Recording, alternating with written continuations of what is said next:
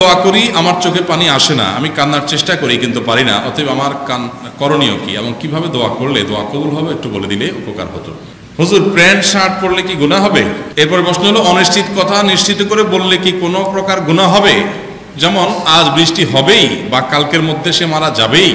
এরপরে প্রশ্ন হলো, আমি মাঝে মাঝে নামাজের প্রথম রাকাতের সুরা ফাতেহার পর অন্য কোনো সুরা না মিলিয়ে রুকুতে চলে যাই। আবার তাসাহুদের জায়গায় সুরা ফাতেহা পড়ে ফেলি। এখন কি আমার নামাজ হবে? অথবা বিধান কি? এরকম ভুল যদি হয়, তাহলে সেক্ষেত্রে আপনার ওয়াজিব তরক হয়েছে এবং ওয়াজিব তরক হওয়ার কারণে আপনাকে সেজদায় সাহু দিতে হবে। এরকম ভুল হয়েছেন আমাদের মধ্যে টের পেয়েছেন, তাহলে আপনি সালাতের শেষে সেজদায় সাহু দিলে ইনশাআল্লাহ আপনার সালাত আদায় হয়ে যাবে। বসে নফল সালাত আদায় করার বিধান কি? বসে নফল নামাজ পড়া যাবে। ফরজ নামাজ বসে পড়া যাবে না। যদি দাঁড়িয়ে নামাজ পড়ার ক্ষমতা থাকে। নফল নামাজ আপনার শরীরে একটু খারাপ লাগতেছে, আপনি বসে বসে পড়লেন, কোনো অসুবিধা নেই, পড়তে পারেন। এর কারণে গুণা হবে না। এবং ফরজ নামাজে দাঁড়ানোটা ফরজ।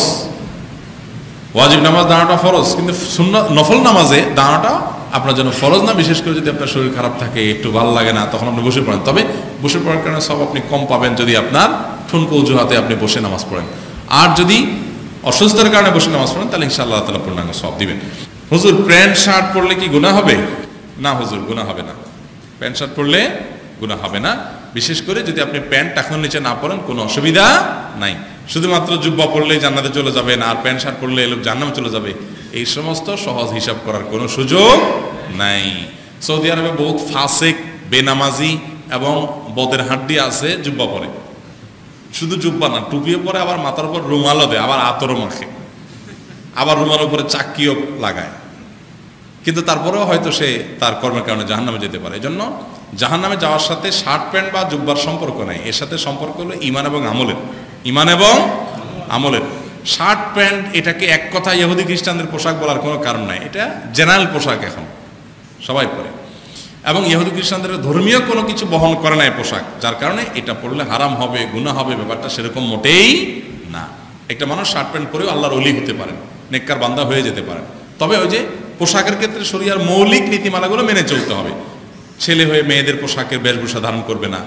মেয়ে, আবার এটা মেয়েদের বেলা বানায় না আবার, যে মেয়েরা শার্ট প্যান্ট পরতে পারে বলছি। ছেলের প্রশ্ন। তো মেয়ে হয়ে ছেলেদের বেশভূষা ধারণ- করতে পারবে না। কারণ হাদিসে আসলাম সাল্লাহ সাল্লাম বলছেন লান আল্লাহুল মুতাশাব্বিহিন মিনার রিজাল বিন নিসা ও লান আল্লাহুল মুতাশাব্বিহাত মিনান নিসা বির রিজাল পুরুষ হয়ে মহিলাদের, মহিলা হয়ে পুরুষদের বেশ যারা ধারণ করে তাদের তার লান পোষণ হয়। পোশাকের মধ্যে ওইটা পুরুষদের পোশাক, মেয়েদের পোশাকের মধ্যে ভেদাভেদটা রাখতে হবে। এবং সেই সাথে ছেলেরা প্যান্ট পরলে টাকনুর নিচে যেন না যায়, এটা খেয়াল রাখতে হবে। টাকনুর উপরে পড়তে হবে। টাকনুর উপরে পড়লে বলবে জঙ্গি, বলবে নানান কাহিনী, কিন্তু কোনো ছাড় দেওয়া যাবে না। আমি হারাম কোনো অবস্থাতে করব না। টাকনুর উপরে পরেন এরপর আপনি প্যান্ট পরেন। আবার প্যান্ট এত টাইট হবে না যে আপনার শরীরের বিভিন্ন অঙ্গ প্রত্যঙ্গ সব ফুটে ওঠে। আজকাল তো আপনার এমন এমন টাইট প্যান্ট আছে যে ওই টাইট প্যান্ট পরে বেচারা কপাল পড়া রুকুজও করতে পারে না সেজদাও করতে পারে না। চুঙ্গার মধ্যে এইভাবে পড়ে থাকা কত কষ্টকর। আল্লাহ তালা এই ভাইদের কষ্ট দূর করে দেন। এরপর প্রশ্ন হলো, অনিশ্চিত কথা নিশ্চিত করে বললে কি কোনো প্রকার গুণা হবে? যেমন, আজ বৃষ্টি হবেই বা কালকের মধ্যে সে মারা যাবেই। না, এগুলো তো বলার কোনো সুযোগ নেই। কেউ যদি এরকম বলেন, তাহলে সেটা ভুল কথা। এরকম বললে ছোট গুণা হবে যদি তিনি এই কথার ভুলে বা বুঝের ভুলের কারণে এরকম বলেন। কারণ এরকম নিশ্চিত করে বলার সুযোগ নেই তো। আবহাওয়া অফিসে তো বলে, আজকে বৃষ্টি হতে পারে। হবেই, এই গ্যারান্টি তো কেউ দিতে পারে না আসলে। এটা একমাত্র ভবিষ্যতে কি হবে না হবে, এটা আল্লাহ তালা একমাত্র জানে। এই জন্য আল্লাহ তালা তার রসুলকে বলেছেন ওলা তাকুলান আলী শাই ইন ইন্নি ফাইলুম যালিকা গাদা ইল্লা আইয়াশা আল্লাহ। আমি আগামীকাল করব, এরকম নিশ্চিত করে বলিও না। ইনশাল্লাহ দিয়ে বলো কারণ হবে কিনা তুমি শিওর জানো না জন্য ভবিষ্যতে যত কাজ করব সব কিছুতে আমরা কি বলব? ইনশাআল্লাহ। আমরা অনেকে ইনশাআল্লাহ, মাশাআল্লাহ কোথায় কোনটা ফিট করতে হবে যাই না। এই জন্য বলি যে, আমার আব্বা মারা গেছে ইনশাআল্লাহ। আব্বা মারা গেছে, এটা তো ইনশাল্লাহ না। ইনশাআল্লাহ হলো ভবিষ্যতে হবে।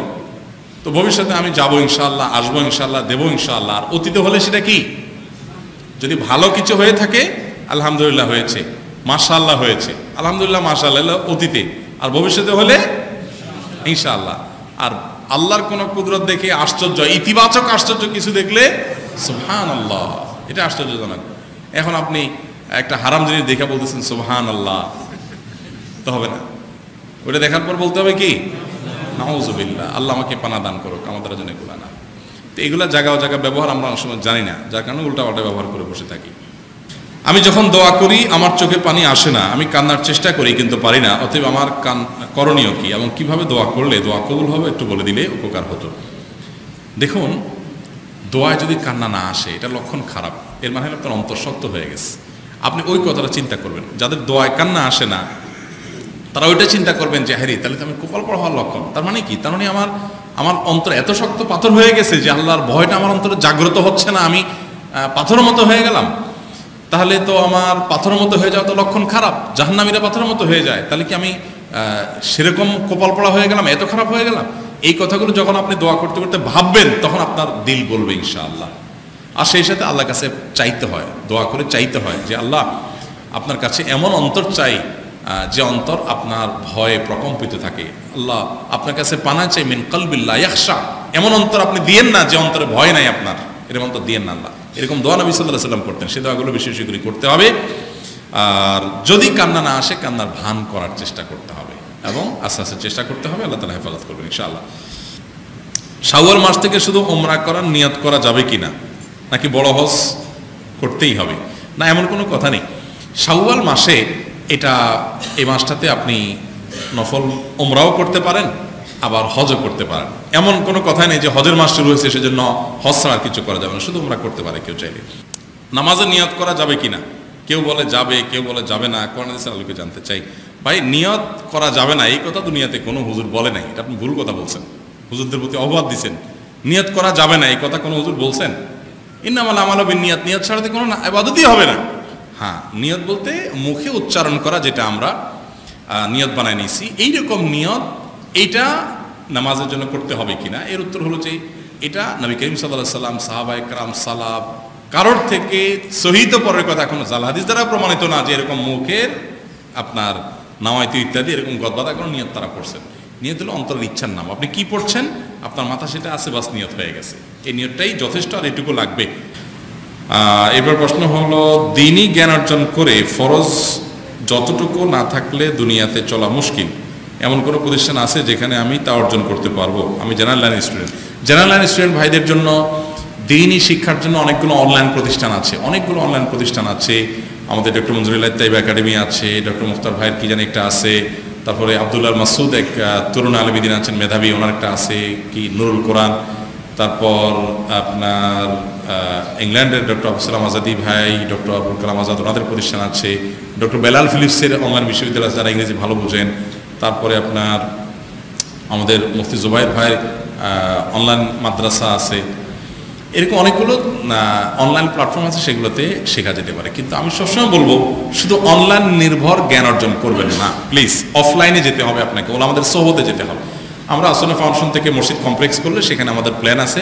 ইনশাল্লাহ সাধারণ মানুষ, নারী, পুরুষ আপনার শিক্ষক, শিক্ষার্থী, বিভিন্ন পেশা মানুষের জন্য বিভিন্ন ধরনের কোর্স আমরা অফলাইন, অনলাইন দুই রকম ব্যবস্থা রাখব। ইনশাআল্লাহ বিদিল্লা ব্যাপকভাবে এবং এই যে এসএসসি পরীক্ষা শেষ হয়ে যাবে, দাখিল পরীক্ষা শেষ হবে, শিক্ষার্থীদের জন্য সাত দিন, দশ দিন মেয়াদি কোর্সের ব্যবস্থা আমরা করব। যাতে করে পুরো প্যাকেজ তাদেরকে দিয়ে দেওয়া যায়, ইনশাআল্লাহ বিদিল্লা এখন যেগুলো আছে সেগুলো থেকে আপনার উপকার হতে পারে আমি একজন রিভার্টেড মুসলিম, আমি ছাত্র হওয়ার কারণে আমার মুসলিম হওয়ার ঘটনা আমার পরিবারকে বলি নাই।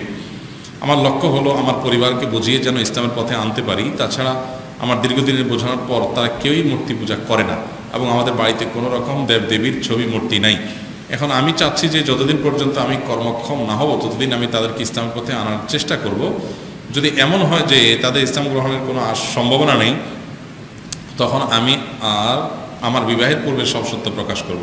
আমার চিন্তা ভাবনা কতটুকু ইসলাম সম্মত এবং আমার মুসলিম হওয়ার ঘটনা, তাদের কাছে আমার বিবাহের আগ পর্যন্ত লুকিয়ে রাখা কতটুকু যুক্তিযুক্ত?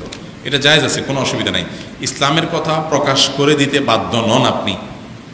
এটা বিবাহের মতো বিষয় না, যে বিবাহ প্রচার প্রচার হওয়া উচিত, সেটাই কাম্য। ইসলাম সবসময় প্রচার করাটা কাম্য নয়, বিশেষ করে যেখানে প্রচার করলে আমার অসুবিধা হতে পারে, সেখানে প্রচার করা মোটেও জরুরি না।